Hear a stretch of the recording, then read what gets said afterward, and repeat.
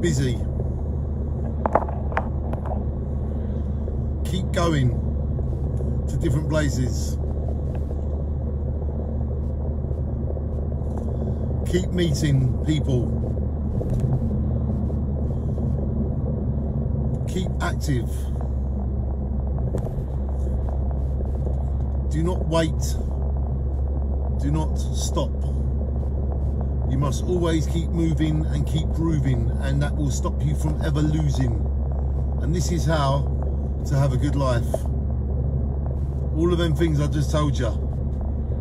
If you keep doing them, it'll make a wonderful life.